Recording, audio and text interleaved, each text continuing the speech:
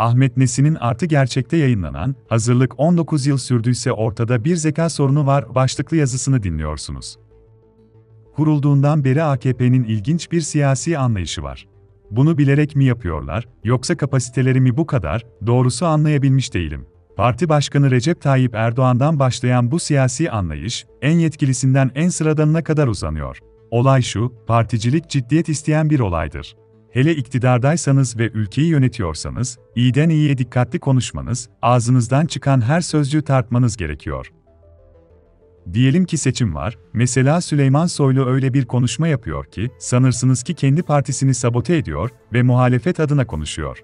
Buna benzer birkaç olayda Celal Başlangıç ile ya birbirimizi arayıp ya da karşılıklı konuşup, buradaki amaç nedir acaba diye tartışıyoruz ama işin içinden çıkamıyoruz. Çünkü iktidarın söylememesi gerekeni söylüyorlar.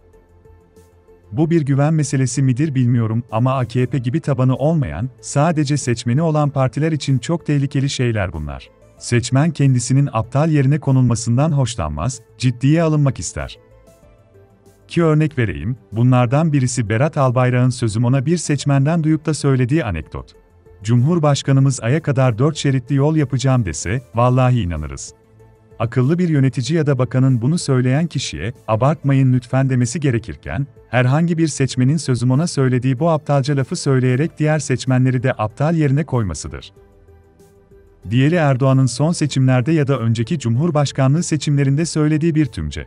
Yakında Mersin'den Anamur'a olan normal tren hattını hızlı trene çevireceğiz. Oysa tren hattı Mersin'de biter, Anamur'a tren hattı yok, yaparsan ancak sıfırdan hızlı tren yapabilirsin.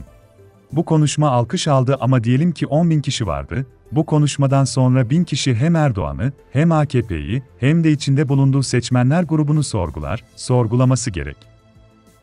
AKP Genel Başkan Yardımcısı Mahir Ünal dün bir açıklama yaptı.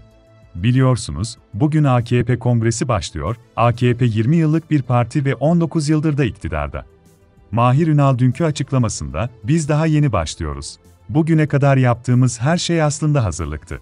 Hazırlıklarımızı tamamlamamız 19 yıl sürdü ve asıl şimdi başlıyoruz.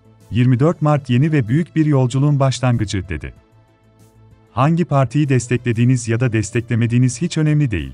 İktidarın önemli bir kişisi böyle bir tümce kuruyorsa, ben o iktidarın hepsinden şüphe ederim ve ciddi bir zeka sorunu olduğuna inanırım. Hiç kimsenin ne kendi yandaşlarıyla ne de yandaşları dışındakilerle böyle dalga geçmeye hakkı yoktur. İsterseniz Google'a girip Erdoğan ya da AKP saçmalıkları diye yazın, bakın neler çıkıyor karşınıza. Bu işin ustalarından birisi de Tansu Çiller'di. Bugün onu da bakan olarak görürseniz sakın şaşırmayın. Ne de olsa AKP henüz hazırlık döneminde, hala tam olarak iktidar olamadılar.